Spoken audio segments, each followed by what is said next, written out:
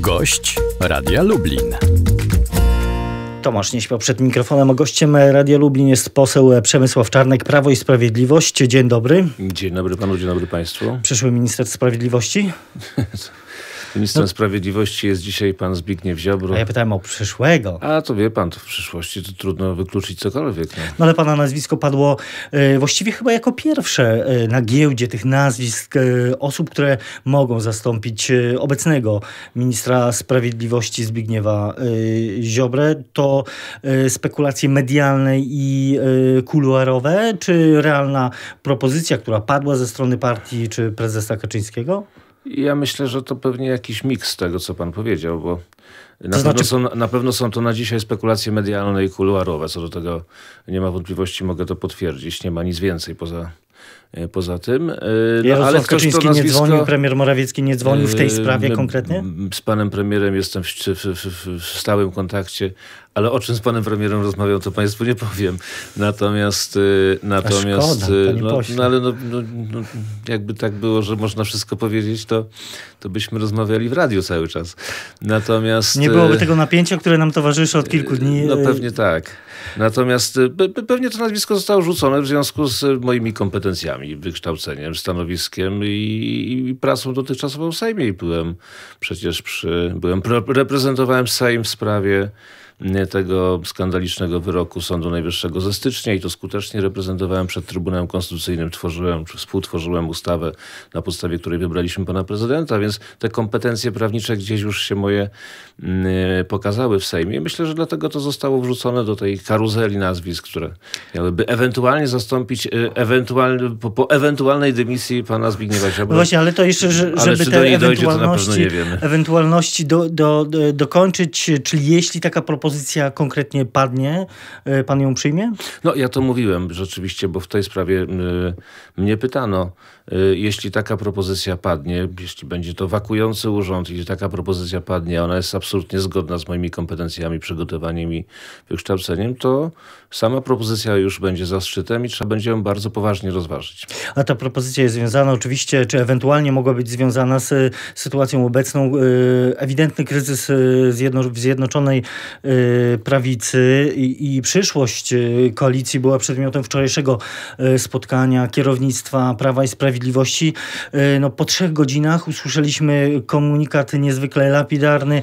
Rzeczniczka PiS Anita Czerwińska napisała na Twitterze, że podjęto E, decyzję o zdecydowanych rozstrzygnięciach, e, a o szczegółach PiS po, e, poinformuje w stosownym czasie. No to kiedy poznamy te zdecydowane rozstrzygnięcia i co to oznacza to sformułowanie stosowny czas? No, stosowny czas to taki, który będzie właściwy do przekazania tej informacji. No ale czy nie można było tego majstersztyk, majstersztyk, można powiedzieć, który przejdzie do, do, do podręczników jak, jak dla rzeczników coś, żeby prasowych. Nie, nie powiedzieć nic, ale no właśnie nie można było powiedzieć, czy przekazać informacji normalnie, rozmawiamy, jeszcze nie podjęliśmy tak, tej decyzji, e, więcej, nie wiem, dajemy sobie tydzień, dwa. To mniej więcej to znaczy pewnie e, wczorajsza, e, wczorajsze zebranie najważniejszych członków władz Prawa i Sprawiedliwości z prezesem zakończyło się przekazaniem panu prezesowi uprawnień do podejmowania rozstrzygnięć zdecydowanych. A kiedy one nastąpią, no słyszymy o jakichś kolejnych rozmowach. No, to jest tak, jesteśmy po pięciu latach wspólnej, wspólnych rządów, blisko pięciu latach, to jeszcze trzy miesiące będzie do tych pięciu lat. E, ta armia rzeczywiście szła niezwykle zgodnie przez te wszystkie e, bitwy, które stoczyliśmy.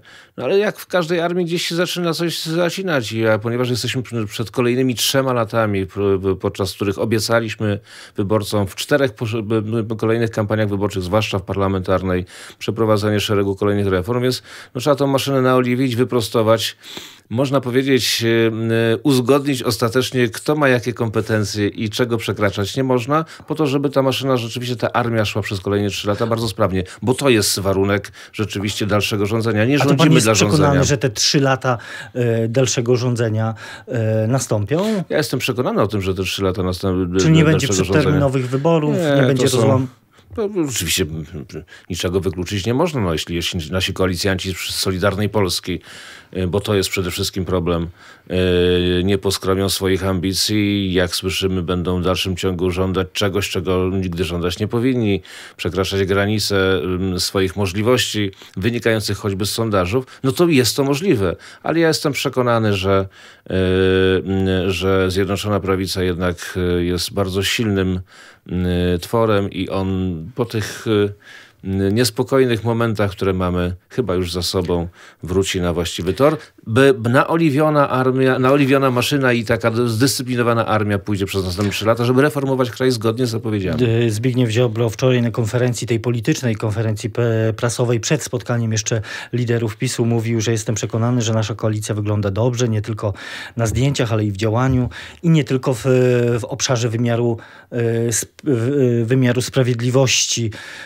To jest tak, że, że przyznaje się do błędu minister sprawiedliwości i próbuje y, no, y, trochę ukorzyć się przed prezesem? Ja się cieszę z tych słów Zbigniewa Ziobry, bo takich słów dawno z jego ust nie słyszałem. W ostatnich miesiącach były przede wszystkim jakieś narzekania i jakieś y, wątpliwości przekazywane pod adresem działania na przykład pana premiera Mateusza Morawieckiego na szczycie europejskim Unii Europejskiej dotyczący budżetu, czy w sprawach konwencji stambulskiej, czy innych. Dobrze, jeśli pan Zbigniew Ziobro wraca do takiego języka, to Y, rzeczywiście napawa optymizmem. E, czyli e, przyjmując trochę e, narrację Zbigniewa Giżyńskiego, który określa obecną sytuację jako separację, jeśli Zjednoczona Prawica przetrwa, to będzie małżeństwo z rozsądku czy przymusu? Ja jestem przekonany, że to zawsze jest małżeństwo z rozsądku. Znaczy, sam projekt Zjednoczonej Prawicy, który powstał gdzieś w 2014 roku, to nie w polityce. Y, w 2014 roku powstał ten projekt, czy 13 chyba końcówka Zjednoczonej Prawicy. Też się wydawało, że po co PiSowi, który jest wielką partią, jakieś przystawki, które w zasadzie mają śladową ilość, niewielu wie o nich, że w ogóle istnieją. A jednak projekt Zjednoczonej Prawicy spowodował ogromne zmiany na scenie politycznej i ogromne zmiany na korzyść w Polsce. I dlatego jestem przekonany, że y, ten projekt powinien, jako małżeństwo z rozsądku, powinien trwać. No ale do tego, rozsąd, do tego małżeństwa potrzebny jest rozsądek rozsądek wszystkich i dlatego cieszę się z tego stanowiska wczorajszego pana Zbigniewa Ziobry. Mam nadzieję, że ono będzie kontynuowane. E, to a propos kontynuacji właśnie pytanie, e, jak potoczy się, potoczą się losy tej rekonstrukcji, o której e, mówiliśmy przecież przez kilka tygodni i pytanie może najważniejsze, czy Jarosław Kaczyński stanie na czele rządu albo zostanie wicepremierem w tym rządzie. Adam Bielan mówi, że Kaczyński powinien zostać premierem. Michał Dworczyk, szef kancelarii E, premiera mówi, że mógłby odegrać w tym rządzie rolę stabilizującą.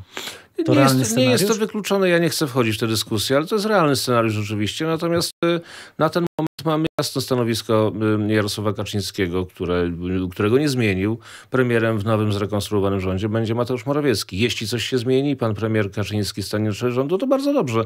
Natomiast to jest dyskusja o, to, jak, o tym, jak najlepiej, jak, jak, jak najszybciej wprowadzać te reformy, które które zapowiedzieliśmy. Jeśli, y, jeśli rzeczywiście y, trzeba by było takiej stabilizacji wejścia pana premiera Kaczyńskiego do rządu, to na pewno nastąpi z pożytkiem dla, y, z pożytkiem dla tego rządu. Ale jeszcze raz powtarzam, to jest rekonstrukcja, która już w tym tygodniu powinna, może w przyszłym ujrzeć światło dzienne, bo potrzeba nam jest sprawnego rządu, sprawnego w sensie decyzyjnym, nie rozczłonkowanego, tylko bardziej zespolonego, tak żeby te reformy przez te trzy lata wszystkie wprowadzić. I koalicjanci w tym nowym nowym rządzie, e, jeśli pozostaną ci sami, e, dostaną po jednym ministerstwie? Jeśli w tym rządzie będzie zdecydowanie mniej ministerstw, a ja mam taką nadzieję, bo tak powinno być, zdecydowanie mniej 12, ministerstw. 14? Ja myślę, że 12 do 14 to jest maksimum.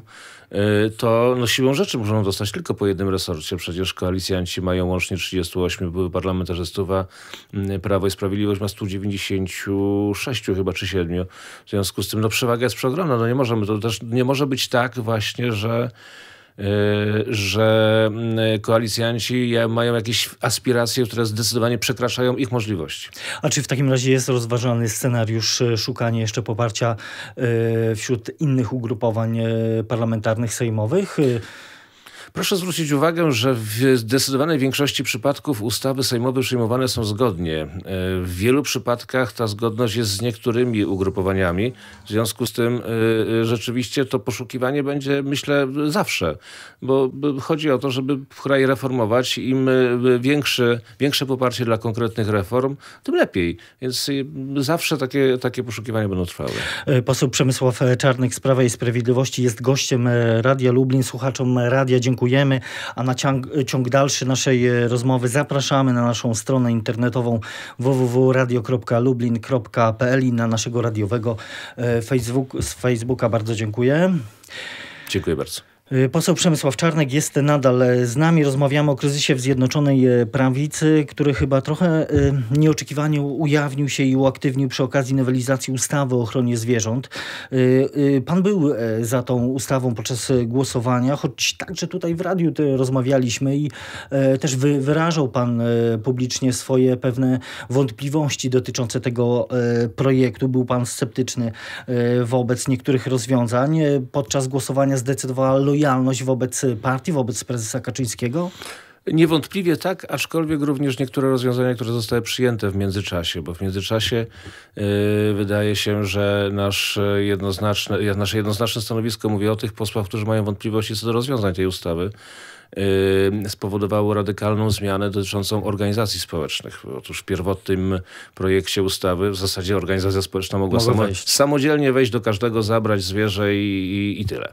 Natomiast w, w, tym kształcie, który został przyjęty, organizacja może, ale tylko w asyście policji, a policja w każdej chwili, kiedy ta, ta interwencja okazałaby się zupełnie bezzasadna, przerywa interwencję, a kosztami interwencji obciążona jest organizacja społeczna, więc samowole ewentualne, przed czym się y, lękali, przy, przy przed czym przestrzegali rolnicy, słusznie zresztą, zostały ukrócone. Ten przepis, który został przyjęty, on jest lepszy od obecnego stanu prawnego, bo w obecnym stanie prawnym organizacje mogą wchodzić do gospodarstw rolnych, zabierać zwierzę, przekazywać informacje do wójta, wójt wydaje decyzję, a kosztami utrzymania zwierzęcia jest obciążony właściciel. Oczywiście mówimy o skrajnych przypadkach, one są bardzo rzadkie, incydentalne, ale jednak pole do nadużyć może się tu zdarzyć.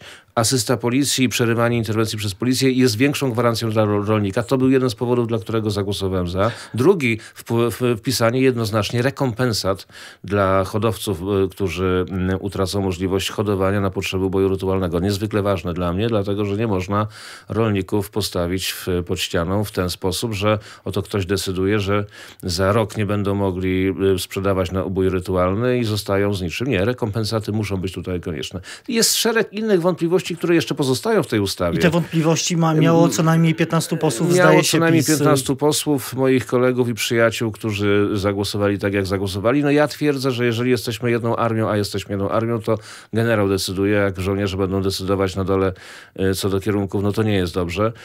E, oczywiście dyskusja jest potrzebna i ta dyskusja doprowadziła do tych poprawek, które przed momentem Państwu przedstawiłem, ale dalej są pewne wątpliwości, są przed nami prace senackie jeszcze, nasi senatorowie też mają poprawki do zgłoszenia, e, jest jeszcze pan prezydent, także ustawa jest mniej więcej w środku procesu legislacyjnego, na ten moment z uwagi na zmianę ustawy w tym kształcie y, i te poprawki, no ja zdecydowałem się podnieść rękę za. Yy, tak jak powiedzieliśmy, yy, część posłów Prawa i Sprawiedliwości zagłosowało przeciwko, między innymi minister rolnictwa Jan Krzysztof tak. Ardanowski, także kilkunastu innych posłów na Lubelszczyźnie, pani poseł Teresa Hałas, poseł Krzysztof Szulowski, yy, nie głosował poseł Sławomir Zawiślak i zostali za to zawieszeni w prawach członka PiS. Poseł Sławomir Zawiślak, nie wiem z jakich powodów nie głosował, to pewnie wyjaśni w rozmowie z kierownictwem naszego ugrupowania. Co do trójki kolegów i koleżanki, którą pan wymienił, no to ja nie, się w ogóle nie dziwię. To znaczy pan minister Krzysztof Ardanowski, minister rolnictwa od początku Y,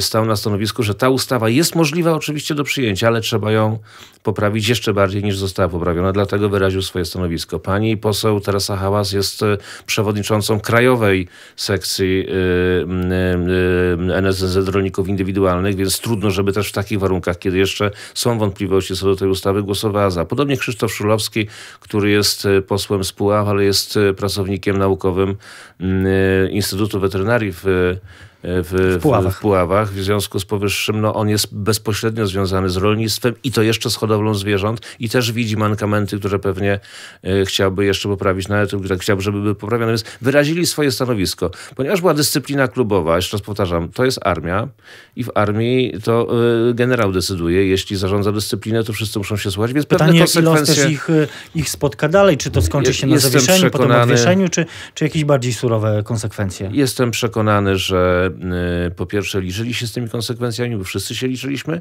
a po drugie y, w, perspektywie niedługiego czasu zostaną przywróceni, bo to są znakomici posłowie, nasi przyjaciele.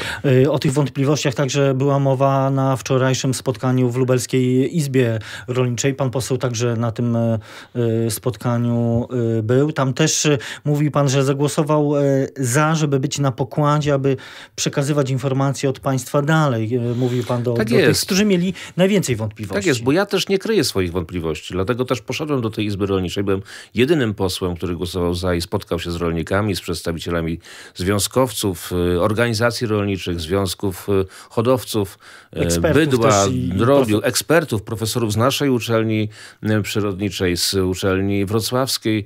To było naprawdę bardzo interesujące i niezwykle pożyteczne spotkanie.